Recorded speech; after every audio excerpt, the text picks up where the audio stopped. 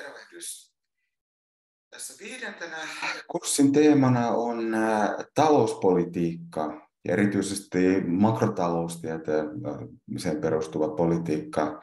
Ja tässä ensimmäisellä videolla lähdetään tarkastelemaan finanssipolitiikkaa ja rahapolitiikan instrumentteja. Eli ihan ensinnäkin tämän viidennen luentoviikon teemat liittyvät lukujen 14 ja 15 aiheisiin tässä Koren oppikirjassa. Mutta mä en nyt enää, enää tuota, esitä tarkemmin, että mihin, mihin lukuihin mikäkin aihe liittyy, koska mun tarkastelu tulee jossakin määrin poikkeamaan nyt tästä oppikirjan tarkastelusta. Mä painotan ehkä hieman enemmän tämmöistä myöskin historiallista taustaa, mistä, mistä tämmöiset keskustelu näiden politiikkainstrumenttien suhteen kumpuaa, ja toisaalta minkälaisia makrotaloustieteen koulukuntia on ollut, ollut ja mistä, miten he niin kuin tavallaan suhtautuvat sitten tämmöisiin erilaisiin instrumentteihin. Eli lähdetään tosiaan tästä, näistä aiheista ensinnäkin liikkeelle ja sen jälkeen mennään hieman tarkemmin noihin oppikirjassa esitettyihin malleihin, kuten tuo Keynesiläinen kerroinmalli. Ihan ennen oikein, kun mennään siihen, niin ehkä hyvä muistuttaa, että tämä on ihan siellä oppikirjan, oppikirjan ensimmäisissä luvuissa puhutaan tai tehdään tämmöinen erottelu positiivisen ja normatiivisen taloustieteen välille. Ja oikeastaan voi ajatella myös näin, että ihan oikeastaan tieteen filosofiassa puhutaan positiivisista tai tämmöisiä positive statements, eli että voidaan niin olla, olla, olla normatiivisia väitteitä tai positiivisia väitteitä.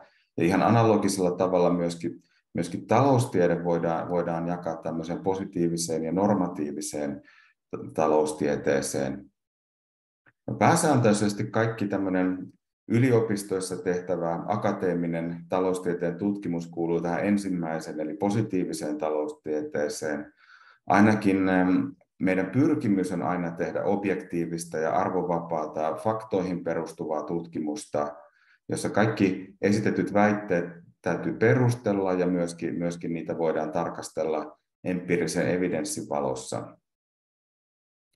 Sitten jos mietitään, mietitään, miten esimerkiksi mediassa sitten, varsinkin talouspolitiikasta käytävää keskustelua on usein tämmöistä leimaa tämmöinen normatiivinen sävy, eli usein sitten ää, esitetyt väitteet ehkä perustuvat enemmänkin, enemmänkin mielipiteisiin, välttämättä esitettyjä väitteitä ei pystytä kovin, kovinkaan hyvin perustelemaan, ja enemmänkin on tämmöisiä suosituksia, että mitä, mitä esimerkiksi hallituksen pitäisi tehdä tai mitä päättäjien ylipäätään pitäisi tehdä. Eli tämä, tämä erottelu on hyvä, hyvä tuota, pitää, pitää mielessä, varsinkin kun puhutaan talouspolitiikasta. Ja tietenkin kun puhutaan talouspolitiikasta, niin myöskin tietysti positiivisen taloustieteeseen kuuluu se, että tarkastellaan, että minkälaisia erilaisia keinoja päättäjillä on olemassa ja mitä, mitä näistä eh, niin kuin empiirisen evidenssin valossa eri keinojen käytöstä seuraa, miten tehokkaita ne kenties ovat, mutta sen sijaan sitten se lopullinen päätös, että mitä, mihin keinoihin ryhdytään, niin jää sitten kuitenkin, kuitenkin sitten päättäjien vastuulle. Ja Tietenkin myös tuota, täytyy myös, jos ollaan ihan rehellisiä, niin vaikka pyritäänkin tämmöiseen positiiviseen, arvovapaaseen ja objektiiviseen tutkimukseen, niin, niin myöskin monesti tietenkin poliittiset asenteet, joista, joista kukaan meistä nyt ei täysin ole, ole vapaa tai riippumaton, myöskin tietysti jossakin määrin saattaa, saattaa poliittiset asenteet myöskin vaikuttaa siihen, että kuinka, kuinka tuota, tämmöistä objektiivista, arvovapaata, positiivista taloustiedettä tehdään ja, ja kuinka sitä, sitä myöskin arvioidaan. Joten siinä mielessä tämä tämmöinen erottelu on, on hyvin tärkeää pitää mielessä. No, sitten jos puhutaan näistä, näistä erilaisista instrumenteista, niin tehdään, tehdään usein tämä jako, joko, jako finanssipolitiikan ja rahapolitiikan välillä, johon, johon tota, tässäkin tullaan, tullaan nyt sitten jatkossa viittaamaan. No äkkiä tämä saattaa kuulostaa, että miten, mitäs nyt tämä finanssit nyt sitten eroavat rahasta, Eli tämä, tämä nimet ei ehkä välttämättä ole kaikkein selkeimmät mahdolliset, mutta, mutta näillä on kuitenkin hyvin, hyvin selkeät erot, ja tämän kalvon tarkoituksena on havainnollistaa, että mistä, mistä puhutaan, kun puhutaan finanssipolitiikasta, ja mistä puhutaan, kun puhutaan rahapolitiikasta. Eli mun mielestä tämä kalvo, kalvo kyllä selkeyttää, ja, ja erityisesti ehkä, jos puhutaan, puhutaan nyt niin kuin Suomen, Suomen nyky, nykyoloista, niin ensimmäisenä voidaan miettiä, että kuka, kuka tämmöistä politiikkaa harjoittaa. Eli kaikenlaista, kaikenlaista finanssipolitiikasta Suomessa vastaa, vastaa maan hallitus, niin kuin tietysti muissakin, muissakin maissa. Ja finanssipolitiikka on kaikenlaiset, mitä, mihin, mihin hallitus voi, voi ryhtyä.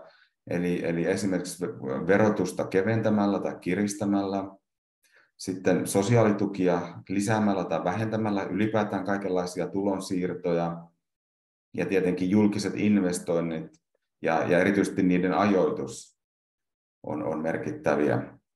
No näissä, että miten, miten sitten, sitten, mitä se finanssipolitiikka tarkalleen ottaen sisältää, niin näissä malleissa, joita tullaan myöhemmin tarkastelemaan, niin ei oikeastaan eroteta sitä, että, että mitä, millaista finanssipolitiikkaa tarkalleen ottaen tehdään, että, että kiristetäänkö verotusta vai lisätäänkö sosiaalitukia. Tavallaan se verotus tai sosiaalituet totta kai kohdentuu ehkä hieman eri, eri tuota, ryhmiin, mutta, mutta sillä ei tavallaan tehdä sitten kuitenkaan välttämättä näissä finanssipolitiikan vaikutusten arvioinnissa niin suurta eroa. Samoin tietysti julkiset investoinnit. Viime, viime aiheessa puhuttiin tästä valtion taseesta, Eli totta kai julkiset investoinnit, varsinkin jos ne rahoitetaan velalla, niin lisäävät ehkä sitä valtion velkaa, mutta toisaalta valtion taseessahan ne näkyisivät sitten taas, taaskin niin kuin myöskin tämmöisinä, tämmöisinä varallisuutena. Joten tämmöisinkään usein näissä seuraavissa tarkastelussa malleissa ei, ei tavallaan oteta, oteta kantaa. Eli tavallaan usein tämä finanssipolitiikka ymmärretään kuitenkin implisiittisesti ikään kuin se olisi tämmöistä verotuksella tai sosiaalituilla tehtävää, tehtävää elvytystä, eikä välttämättä investointien kautta. No sitten kun mennään tuonne rahapolitiikan puolelle, niin nykyoloissahan Suomen hallitus ei pysty tekemään rahapolitiikkaa ollenkaan, vaan se on, se on nyky, nykyisin tuo keskuspankin ja, ja viime kädessä Euroopan keskuspankin EKP harjoittaa rahapolitiikkaa Frankfurtissa. Ja keskuspankilla on monenlaisia erilaisia keinoja, joita tullaan myöskin tarkastelemaan hieman myöhemmin tarkemmin, mutta hyvin tärkeä keino on rahapolitiikan ennakoitavuus ja miten siitä viestitään. Yksi keino on tämmöiset reservitalletukset, joita, joita pankeilta vaaditaan. No tietysti hyvin näkyvä viime aikoina mediassa on ollut ohjauskoron koron nostot, Toisaalta voidaan tietysti laskea ohjauskorkoja myöskin. Ja sitten, sitten viime aikoina tai viime vuosina on myöskin tämmöinen arvopapereiden ostot ja myyntit, eli puhutaan quantitative easingista, eli tämmöisestä määrällisestä elvytyksestä, joka myöskin otettiin, otettiin käyttöön, kun nuo ohjauskoron laskulla ei enää, enää pystytty, pystytty negatiivisellakaan korolla enää, enää tuota, ää, pääsemään eteenpäin. Eli, eli Tämmöisistä tullaan tosiaan puhumaan sitten hieman, hieman tarkemmin sitten, sitten vielä myöhemmin. Mutta tärkeä erottelu, että mistä, mistä tällä hetkellä, jos varsinkin tässä kotimaisessa talouspolitiikassa puhutaan, niin rahapolitiikkaa harjoittaa EU-tasolla tai euroalueen tasolla EKP, eli Euroopan keskuspankki, kun taas finanssipolitiikka on sitten taas semmoinen asia, johon, johon Suomen hallitus pystyy, pystyy tuota, tekemään itsenäisesti tai ainakin jossakin määrin niin. Palataan näihin sitten hieman tarkemmin vielä myöhemmin. Tämä on oikeastaan vain tämmöinen käsitteellinen ero, mitä finanssipolitiikka ja rahapolitiikka tarkoittaa, mikä on niiden, niiden ero. No nyt sitten mä otin tässä, tässä vaikka tämä luku 17 ei tänne tota, varsinaisesti tenttialueeseen kuulukaan, niin tämä on mielestäni kuitenkin hyödyllinen tällä, tässä tavallaan, miten, miten tämä tota, talouspolitiikan ja miten, miten tavallaan tämmöisistä erilaisista talouden kriiseistä ollaan opittu taloustieteessä. Tässä ehkä huomattavaa on tuolla tuo, tässä on nämä kolme, kolme eri vaihetta, joista, joista ensimmäisenä tuolla iloisella kun lähdetään iloiselta 1920-luvulta liikkeelle, silloin oli vahva nousukausi ja tuota, uskottiin siihen, että markkinat toimivat hyvin, hyvin ilman, ilman varsinaista julkisen vallan puuttumista. Mutta vuonna 1929 ää, tapahtui ensinnäkin pörssiromahdus Yhdysvalloissa, josta seurasi sitten, sitten maailmanlaajuinen hyvinkin tota, ää, raju, raju laskusuhdanne ja lama, jolloin, jolloin kokonaiskysyntä romahti. Ja tällöin sitten, sitten John Maynard Keynesin sen kirjoitukset 30-luvulla sitten, sitten osuivat hyvin oikeaan, oikeaan aikaan ja oikeaan aikaan, eli, eli silloin, silloin tuota Keynes sitten, sitten esitti, kuinka, kuinka sit julkinen valta voisi omalla, omilla toimillaan sitten, sitten lisätä kokonaiskysyntää ja auttaa, auttaa pääsemään tämmöisestä, tämmöisestä lamasta, auttaa talouden nousemaan, nousemaan lamasta. No niinpä sitten tuossa sitten noin keskimmäinen vaihe toisen maailmansodan jälkeen, jälkeen monissa maissa harjoitettiin tämmöistä keinsiläistä suhdannepolitiikkaa, jossa valtio sitten pyrki, pyrki omilla toimillaan tasaamaan suhdannevaihtelua. Ja tämä keynesiläisen talouspolitiikan kultakausi osuu, osuu tosiaan tuossa toisen maailmansodan jälkeen ja, ja tuonne 70-luvun lopulle. Eli tuolla, tuolla tuota, tuota, vuonna 1971 Yhdysvaltain presidentti Richard Nixon totesi, totesi kuuluisesti, että, että we are all Keynesians now. Mutta se, myöhemmin 70-luvulla luvulla sitten iski öljykriisit päälle ja, ja sitten havaittiin, että yhtä aikaa, yhtä aikaa oli taloudessa työttömyyttä, mutta siltikin korkea inflaatio, eli, eli tuo Philipsin käyrän mukainen yhteys inflaatio ja työttömyyden välillä ei, ei pitänytkään paikkaansa. Ja, ja silloin 70-luvulla sitten ää, Milton Friedman ää, oli varsinkin näkyvä kriitikko tälle keynesiläiselle talouspolitiikalle, jolloin sitten, sitten siirryttiin tämmöiseen, tämmöiseen tai alkoi hyvinkin tuota kriittinen keskustelu, keskustelu johon mä viittaan, viittaan hieman myöhemmin. No sitten tuo stagnaatiosta finanssikriisiin, kolmas vaihe tuolla sitten varsinkin 80-90-luvuilla, 80-luvulla Yhdysvalloissa Ronald Reagan ja, ja, ja Britanniassa Margaret Thatcher siirtyivät enemmän tämmöiseen markkinaliberalistisempaan talouspolitiikkaan, eli markkinoiden sääntelyä vähennettiin, julkisia, julkista tuotantoa yksityistettiin. Ja, ja tästä sitten lopulta, lopulta sitten vuonna 2008 sitten tästä, tästä tämmöisestä markkinasääntelyn vähentämisestä ja liberalisaatiosta sitten seurasi, seurasi vuoden 2008 ähm, finanssikriisi, josta tuli sitten taas, tota, taas myöskin vaikutuksia ihan, ihan globaalisti.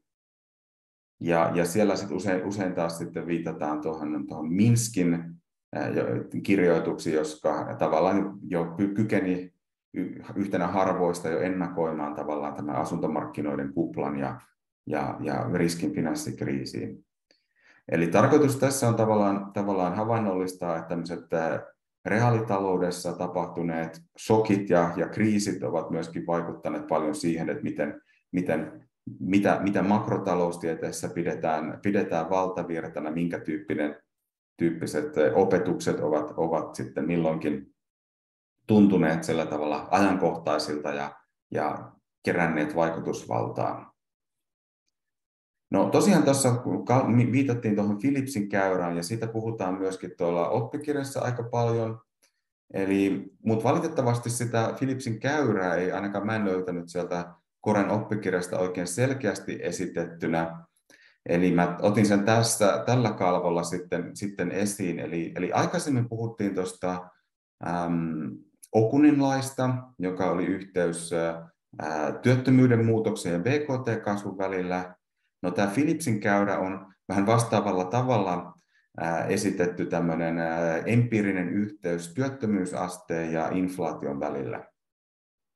Ja tässä tosiaan tota, tässä, tässä kuviossa on esitetty Yhdysvalloista vuodesta 2000 vuoteen elokuun 2014 Eli nähdään, että toi, tuota, pisteparvessa on aika paljon ollut tuossa 2000-luvulla Yhdysvalloissa hajontaa, ja tuo yhteys näyttää kohtalaisen heikolta. Siellä on jonkunlainen laskeva suora, voidaan sovittaa tuohon pisteparveen, mutta, mutta se ei näytä kovinkaan, kovinkaan vahvalta.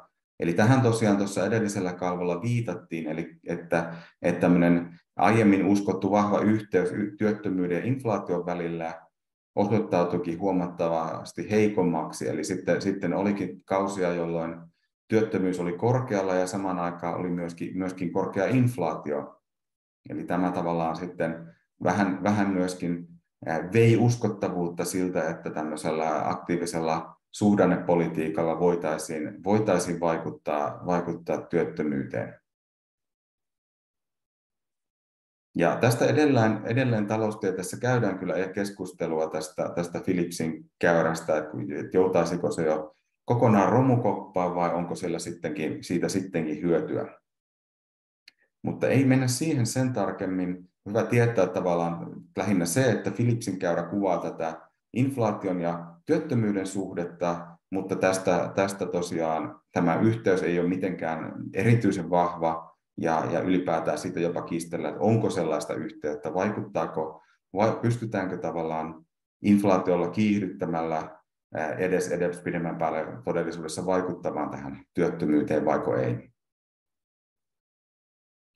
No, tässä kuviossa sitten myöskin hieman historialliseksi taustaksi, niin pyritään havainnollistamaan, jos katsotaan ensiksi tätä kuvion oikean, oikeanpuolesta viivakuviota, jossa on, on neljän vai hetkinen viiden suuren talouden tapauksessa havainnollistettu pitkällä aikavälillä, kuinka, kuinka julkisen vallan menot ovat yli ajan kasvaneet huomattavasti. Eli tämähän tietysti vaikuttaa paljon siihen myöskin, että miten, miten paljon sitten julkisen vallan toimenpiteellä on todellisuudessa mahdollisuutta vaikuttaa sitten, sitten ähm, esimerkiksi talouden suhda, suhdanteisiin.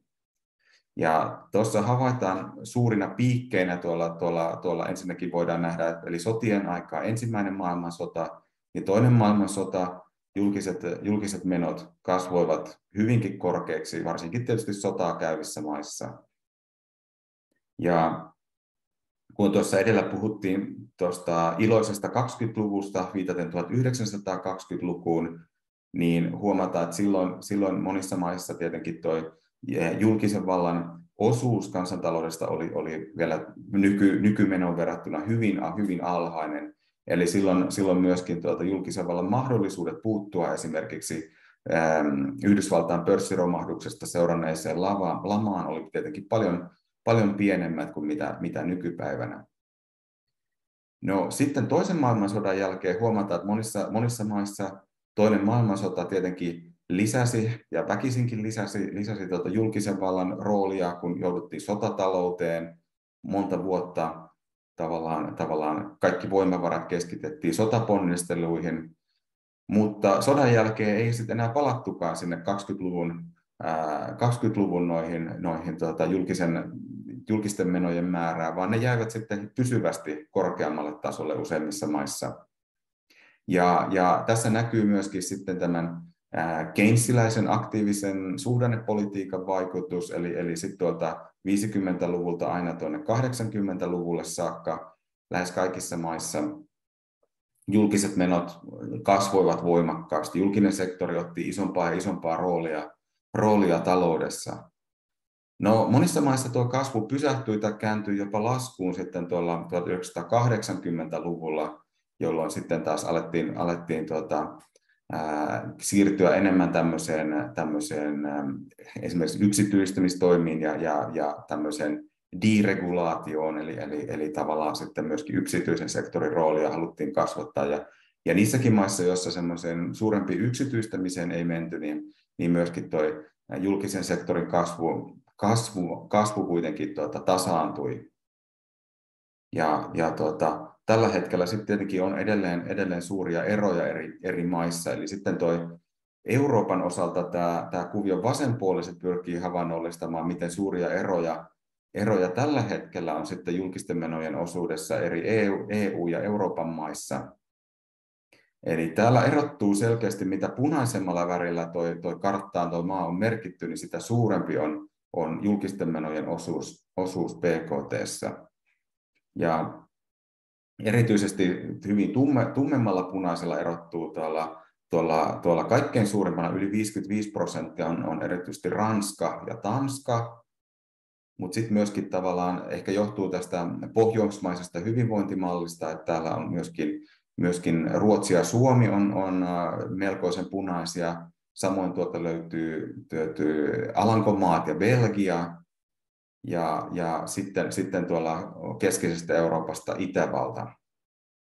No nyt ehkä jos ajatellaan Norjaa, niin siellä täytyykin tuota, tuota, toi BKT, BKT on niin, niin suuri, että, että, että suhteessa julkiset menot on sitten, sitten pienempi. Se johtuu enemmänkin suuresta BKTstä kuin, kuin niistä julkisten menojen pienuudesta.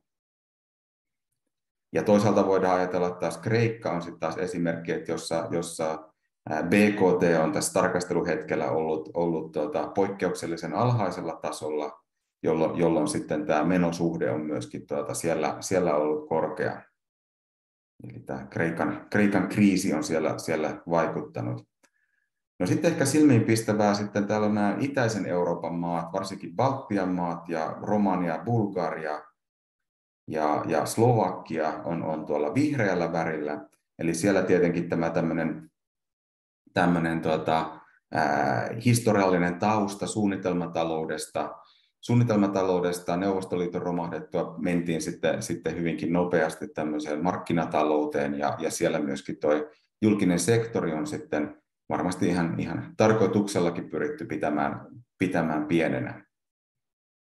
Eli tässä nähdään, nähdään myöskin, miten tämmöinen historiallinen tausta vaikuttaa siihen, että miten, miten aktiivista talouspolitiikkaa sitten eri, eri maiden hallituksilla on, on periaatteessa mahdollista tehdä ja myöskin halua, halua tehdä. No, puhutaan sitten vielä hieman tarkemmin. Tuossa viitattiin tuossa, tuossa kirjan, kirjan tuota, tämmöisestä, mitä talous opettaa, hieman tämmöisiin makrotaloustieteen koulukuntiin, jotka myöskin, myöskin mun mielestä on hyödyllistä hahmottaa ihan, ihan tämmöisen talouspolitiikan taustaksi. Eli tosiaan siellä, siellä lähtien sieltä suuresta lamasta 20-luvun lopussa ja, ja erityisesti 30-luvun alussa ja aina sinne 70-luvulle tämmöinen keynesiläinen talouspolitiikka oli, oli, tuota, oli valtavirtaa ja myöskin, myöskin tuota, taloustieteessä, makrotaloustieteen valtavirtaa.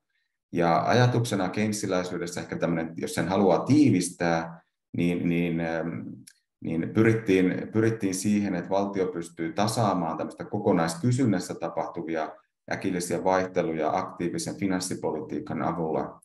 Ja me tarkastellaan myöskin tuota Keynesiläistä kerroinmallia hieman tarkemmin myöhemmillä videoilla.